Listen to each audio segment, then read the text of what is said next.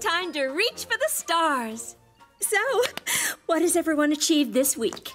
I got a science award for discovering a new form of bacteria in the fridge. Sir, ma'am, mom. That's very good, Anais. That puts you on the sunny cloud, just below the star, where I am for beating everyone at the company paintball day. Wasn't that supposed to be a team bonding exercise? I'm sure they all bonded in the hospital. Who's next? I learned how to do the maiden call of the mockingbird.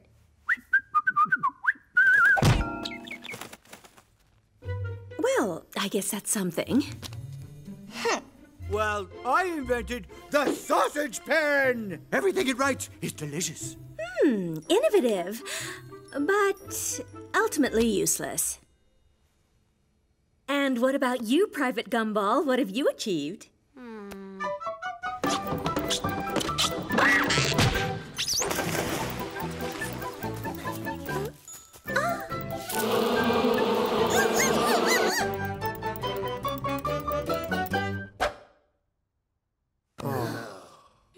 I guess I achieved nothing. Again? Surely there's something you're good at. Hmm. I guess I'm just good at being happy. Well, that's not good enough, little man. As of tomorrow, I'm turning you into a winner. But right now, you're on the rainy cloud.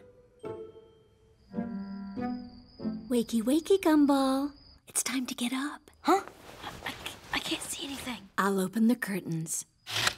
What the? What time is it? It's four in the morning. Why are we in the supermarket when the rest of the world's asleep? Because winners wake up early so they get the best out of life. For example, that discount chicken. Pop it in the basket, sweetheart.